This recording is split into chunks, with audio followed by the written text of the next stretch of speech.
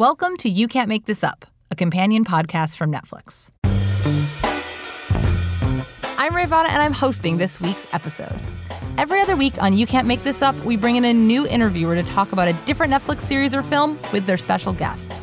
And all of the stories are surprisingly true. Fans have been anxiously awaiting the return of Making a Murderer since the first 10 episodes dropped in 2015. And in just two days, part two is finally launching on Netflix. In anticipation of its return, we sat down with Making a Murderer creators and directors Laura Ricciardi and Moira Demos for an exclusive interview. As a reminder, part one left off with both Steven Avery and his nephew Brendan Dassey being convicted of murdering Teresa Halbach in 2005. But that's not the end of their stories. Both Brendan and Steven claim they were wrongfully convicted. And with the series bringing national and international attention to their cases, Laura and Moira kept documenting. Part two revisits the Avery and Dassey families and Teresa Halbach's friends. It also introduces Steven Avery's new attorney, Kathleen Zellner. With 19 exonerations, Zellner holds the record for the most overturned wrongful convictions. Part two explores the muddled post conviction process and the impact the series had on the town, and so much more. Here to discuss parts one and two of Making a Murderer is Netflix's Jarrett Wieselman with directors Laura Ricciardi and Moira Demos.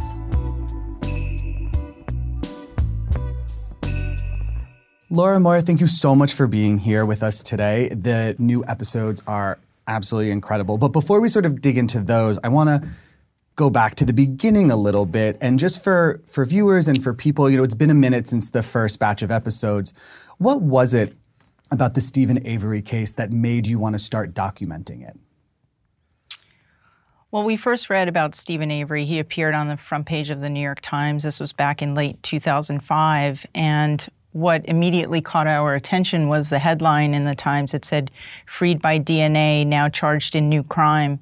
And we were on the lookout for a story, and we'd never heard of a DNA exoneree who was later charged with a crime. And so we made some initial calls and found out that um, he was going to be having a court appearance and that it would be possible to film that court appearance. And so we drove out to Wisconsin and started shooting. Absolutely. You know, obviously the goal at the outset was to document this case and to really show what may or may not have been a miscarriage of justice. I mean, has that goal changed over the years for you, or is that still sort of the point of this exercise for you? Well, you know, Laura mentioned we first learned about this when we saw the headline in the New York Times and read the article. And it was really Steven's unique status as a DNA exoneree charged in a new crime and the idea that following this one character, you could go really from one extreme of the criminal justice system through the belly of it to the other.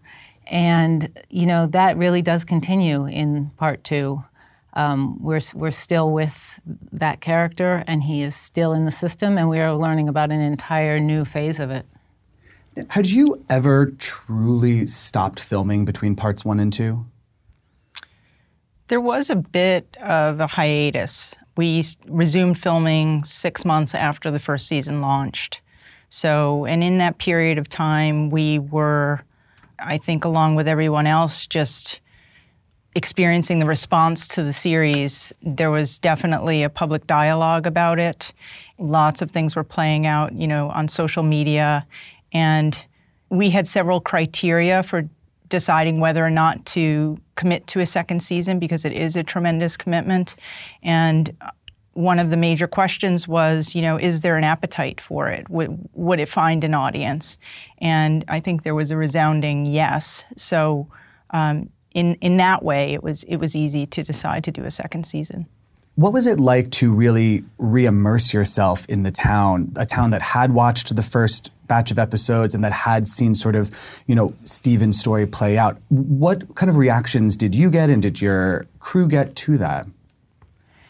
Well, I mean, there were so many, so many things about going back into production for part two were different than part one. Um, one of them was the fact that you know, now going to Wisconsin to film, you know, we're filming such a high profile case that everybody has an opinion on and, and that we are known. You know, when we first started, we were two female film students. People think, oh, you don't matter. Um, so, you know, you could use that, you could be more invisible. Um, that obviously is harder now. There are situations where we ourselves can't go, so we have to send crew. It, it was a changed world because of the series. So that was not something we could ignore or pretend wasn't true. So, you know, that was another reason to open the first episode of part two with some documentation of exactly how that happened and, and how does that land you back in this story. The Netflix documentary really opened up everybody's eyes. Couldn't sleep, couldn't rest. I knew something had to be done. We all live on Avery Road! I don't believe in the corruption in Manitowoc County. I, I'm 100% behind the police officers.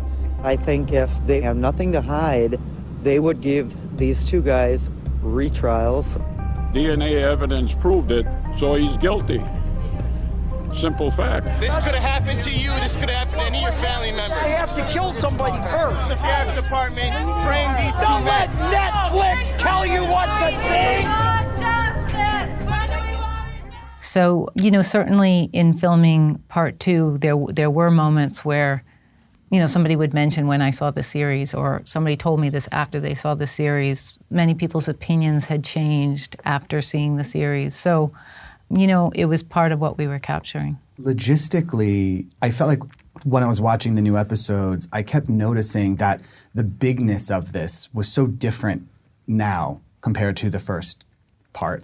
And I mean, I think how many crews were actually covering things that you guys were probably the only ones covering the first time around. I mean, how did sort of the, the general news attention and the mass media sort of descending on all of these court moments change the way you would actually physically shoot the show?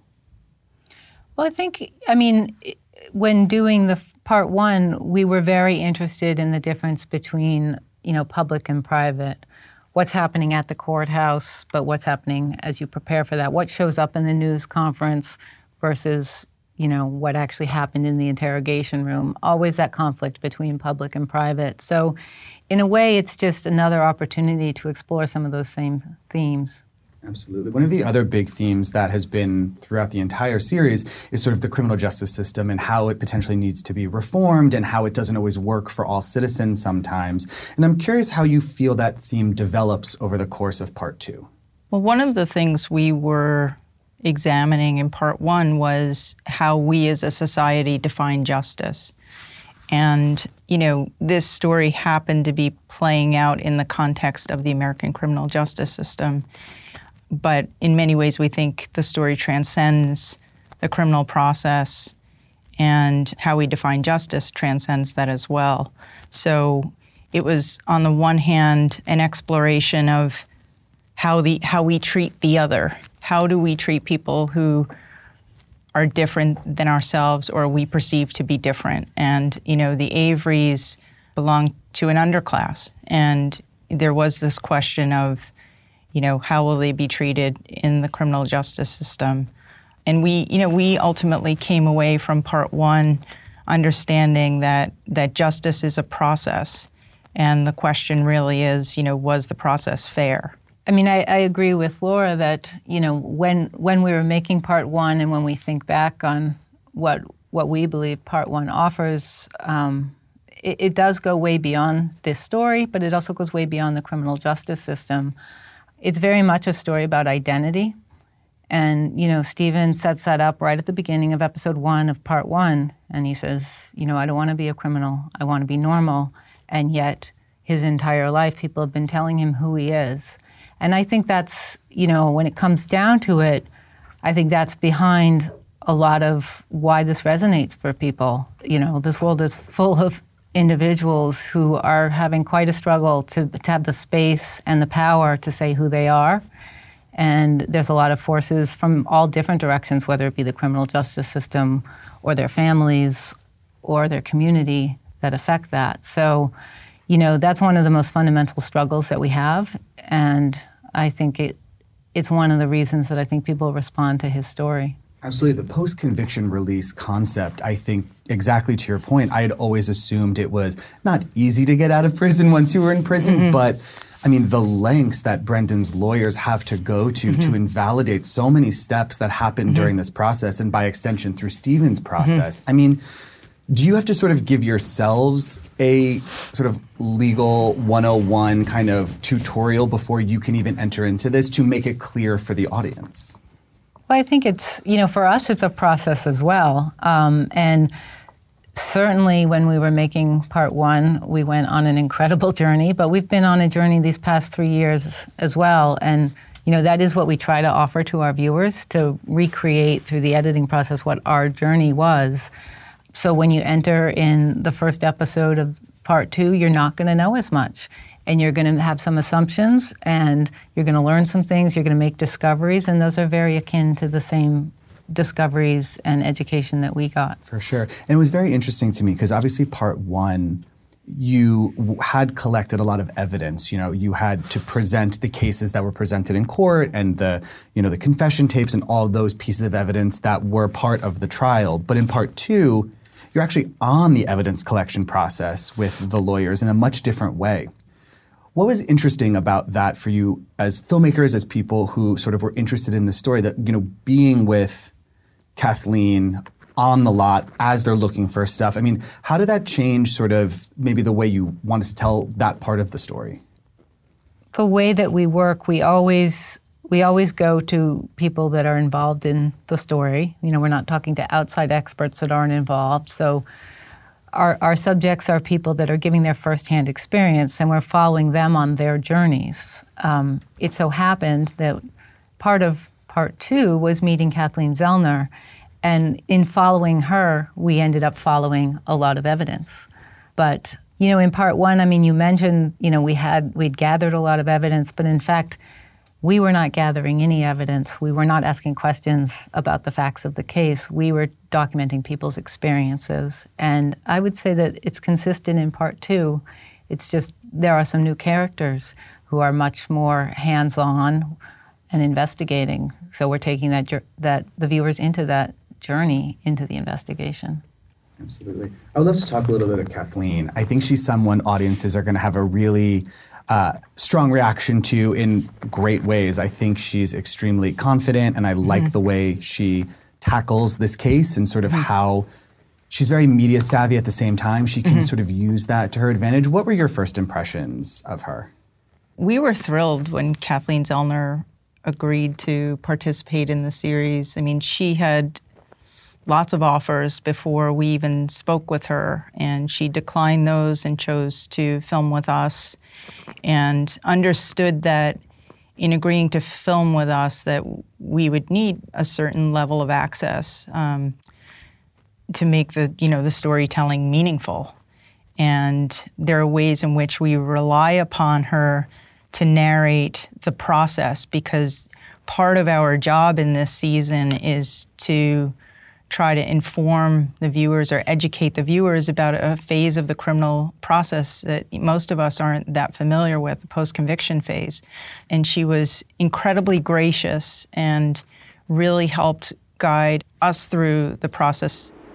Yeah, the prosecution presented testimony that when Steven turned the ignition key, that the cut on the first joint of his middle finger had made the blood pattern stain by the ignition and that he'd done that just naturally as part of turning the key. Well, that's ludicrous because once you get in the car and you put the ignition uh, key in and you turn it, you're two inches from that stain. That is not how it happened. I don't care. You could get in that car and do that a thousand times with blood on your finger and you will never create that mark. So, what does that tell me? Once I uncover one lie like that, I know there's a whole bunch more lying going on. We were doing our own research and fact checking and all of that, but just to get um, some foundation for what does it mean. And of course, she is the winningest post-conviction attorney in the country. She's had more exonerations than any other private attorney in the country. So we really felt like it was sort of a master class for us to learn about the post-conviction process from her. So we were definitely excited when she agreed to participate and, and to give us access. We had no idea what shape that would take. And really, as you know, with Kathleen and, and all of our subjects, it's it's all about building trust. And we feel like our primary job is to earn the trust of our subjects. So, you know, it's showing up when you say you'll be there and never sitting in judgment of your subject, just those sorts of things that you do when, when you're working with people and when the stakes are so incredibly high. I mean, she is representing somebody who is imprisoned for life without the possibility of parole, and she certainly feels like his life is in her hands. She also feels like the clock is ticking. You know, the, there's an element of, of time here. She's trying to race against time, both because Steven isn't necessarily in the best of health. I don't know who is in a in a prison, but also his family. His parents are aging and ailing, and Steven's primary relationship is his relationship with his parents. So we were cognizant of all of that, and you know, always had that at the forefront of our minds, as well as, of course, you know, trying to give our viewers an experience and always thinking about the viewer as well. Absolutely. I want to ask briefly about the family. Obviously, you spend a lot of time with the Averys, both over part one and part two. And we see in part two, you know, Steven's mother isn't in the best of health. But even beyond that, you know, the fight that Steven has with his sister over the course of the season, I mean, the toll that this experience has taken on this family, I would imagine when you talk about potential, you know, miscarriages of justice happening in these cases, is one of the things you feel like people really relate to about the show is the toll that this actually does take on the family because I think that's something that for me I find very affecting. You know, if in fact Steven has been framed and is not guilty, what his family has been through over the last 30 years as a result of that is horrifying. Well, I think one of the things we were definitely interested in exploring and capturing in part two was, you know, the emotional toll that this part of the process in particular takes on really everyone involved, whether it be Steven and Brendan or, you know, their families and the time that it's taking, the obstacles they are facing, but as well, you know, Teresa Halbach's family and all of the many people that care so deeply about her and the tragedy that happened there to have things reopened, reopened by attorneys that are digging into things and trying to bring it back to court. And there's sort of no winners here. There's pain all around, but you know, it's our job to be able to, you know, to try to represent that and, and, not shy away from that. You know, sometimes we don't we don't want to look at difficult things or we don't want to really unpack why is it that way and we're sort of asking and encouraging viewers to spend some time there and understand it more. I, I want to talk a little bit about sort of bringing things back to the surface because such a huge part of these episodes is almost having to relitigate what Dean and Jerry did, looking back at the case mm-hmm. and mistakes they had made. And obviously, you know, they are characters, if you will, that the audience really responded to in part one. Did it surprise you that Kathleen found so many possible avenues of mistakes that had been made with that initial case in her investigation now? I think a necessary part of the process for a post conviction lawyer is a re examination of what came before. And that includes, as Kathleen lays out, you know, it's, it's looking for new evidence and um, on, being on the lookout for possible constitutional violations. And that could mean evidence that was withheld by the prosecution or looking once again at the performance of the defense attorneys who came before. We certainly had no idea what Kathleen would find on her journey, and we were just there to, you know, to document it as she found it. I want to talk a little bit about what she sort of discovered, but before we do, I mean, how would you describe your reaction to really standing back and looking at just the sheer volume of things Kathleen discovered that actually could help Steven? I mean, were you surprised that there was just so much for her to work with? I wasn't surprised, frankly, because, you know, this was an incredibly complex case. It, I don't believe it was treated as such by the prosecution, by law enforcement. I think they thought very early on that they had all the answers. And I think it's much more fascinating to raise questions and utilize a process to try to answer those questions. Jerry Buting at one point in the story talks about, you know, how many documents there were alone. And he also talks about video materials and CDs and all of those things. And, you know, it was just a mountain of material for anyone involved to go through. And interestingly, you know, Kathleen pointed out to us early on that Teresa Halbach disappeared on October 31st of 2005 and was first reported missing on November 3rd, later that week. And Steven Avery was in custody by November 9th of 2005. So one of her arguments is that this was a rush to judgment. And she worked with a former FBI agent who is a profiler actually, and he talked about, you know, what proper protocol is for law enforcement and what following that protocol might look like. And it's a much more scientific approach. It's evidence based, not suspect based. And so that's, you know, one of the things that we were trying to capture as well. Kathleen says in the series that I'm in this for the long haul, basically. I'm committed to righting this wrong and to making sure Steven gets what he deserves. And I'm curious, do you as filmmakers feel the same way? I mean, are you in this story for the long haul and in telling this story until its inevitable conclusion, whatever that is? I mean, it's hard to imagine what true end to a story with so many um, threads and so many people who have gone through so much would look like. Um, we certainly have deep connections to many people in this story, and you know, I think I think for us the question of you know continuing past this part two will be the same questions that were there for part one or for part two of what what is the story that's taking place at this point? Can we maintain or gain access to it? And does it offer something new? So we will be asking those questions and, you know, assessing. What has it been like for you as people to live with this case for 13 years and to live with the ideas of potential injustice and everything that's covered in this series? I mean, how do you even verbalize something like hmm. that? I think it is hard to verbalize. I mean, I think that's part of, you know, we put it into our work. It's, it's much harder to talk about our work than to share our work. But um, many people often talk about creative work as, you know, it's your baby or it's like a child. And I think it's, there is something similar to that, you know, asking a parent about their 13 year old child. Like, there isn't a way to think about those last 13 years without the child. It's just, it's part of your life and it's part of what matters most to you. What about for you? I mean, we certainly immersed ourselves in the work. And again, having no idea how long we would be working in it or on it.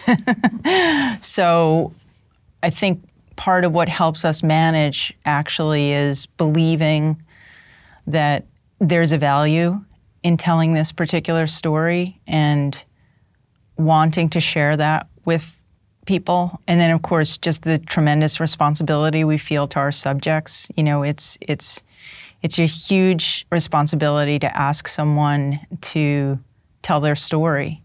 I like to think of it as a two way street that we're giving them a voice, but we're telling their story. And part of what helps for sure is, you know, finding those lighter moments finding humor in things, the little things, the simple things. I mean, there, we happen to be animal lovers, and there you'll see lots of dogs in in part two.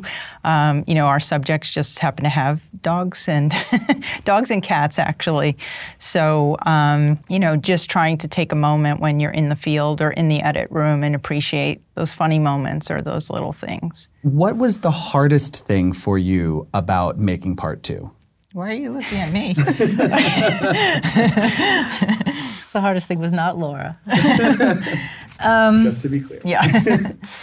I mean, there were so many things that were different about making part two. Um, being in post production at the same time as you're in production, so you've edited scenes, new new scenes are coming in. You know, they're changing where the story is going. You know, if you apply your skills as a storyteller you're planting and paying off, you're threading things through. You know, you do need to know the arc of your story when you're laying the foundation. So that was certainly a challenge. The early episodes had many, many more versions than the later episodes. Part of that was schedule too.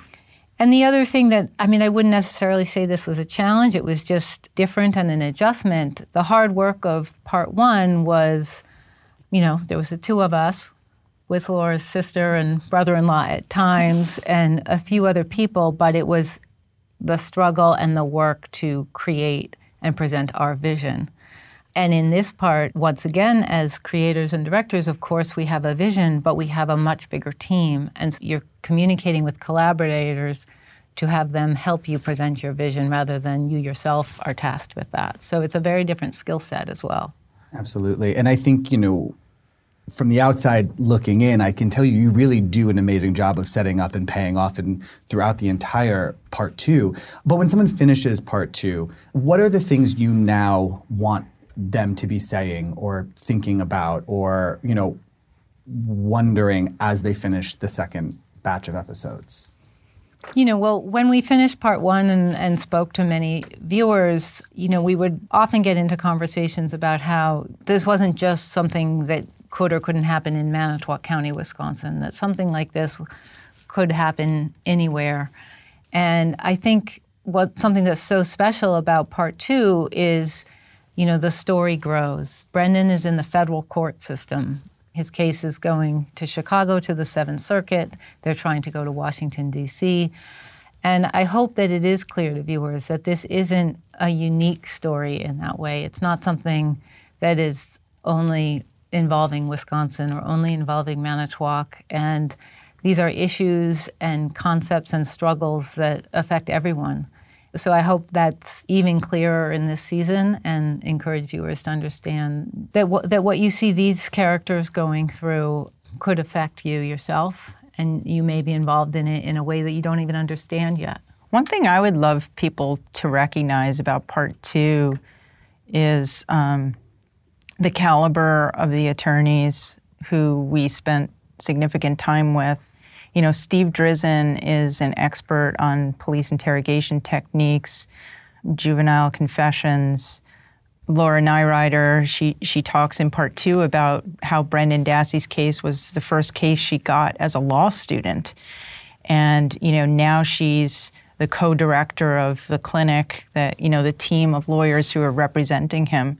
So that was really fascinating, and of course you know Kathleen Zellner is just she's a force in her field. So, and part of what we love about that too is of those three lawyers, two of them are women. And they're incredibly confident, they're competent, they're gracious, you know, they're human. And it's, it's, it was just a privilege to be able to film with women like that. I mean, Steve included, but but just thinking about the women for a moment because you know part of what really resonated for us in part one was the strength and resolve of the women who were related to the people most significantly affected. With part two, we're also, you know, we had access again to Dolores Avery and to Barb Tadych. So these are incredibly resilient, giving people, and they we will always be grateful to all of them because they let us in and um, trusted us and really allowed us to, to turn a lens on what they were doing and sometimes when they were in their darkest moments and that's an incredible gift and it's it's really exciting for us to be able to share that with the world.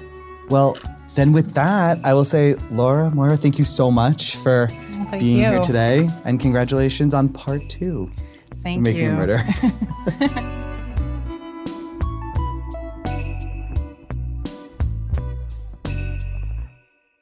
That was Jarrett with Laura and Moira. And that's it for this week's episode. But we'll be back next Wednesday to keep talking about making a murderer. In the meantime, watch part two. Then you can head back to this feed for a roundtable discussion with some truly great people. Dan Taberski, host of Missing Richard Simmons, will be in conversation with the host of Criminal, Phoebe Judge, and attorney David Rudolph, who represented Michael Peterson and was featured in the Netflix original docuseries The Staircase. So check back next week for that special discussion about making a murderer and true crime. You can find us on Apple Podcasts, Stitcher, Google Play, Spotify, and wherever else you get your podcasts. Make sure to subscribe, rate, and review this show. It helps other people find it and also brings me joy. Don't we all need a little joy right now? You Can't Make This Up is a production of Pineapple Street Media and Netflix. Our music is by Hansdale Hsu. I'm Ray Vada, and thank you so much for listening.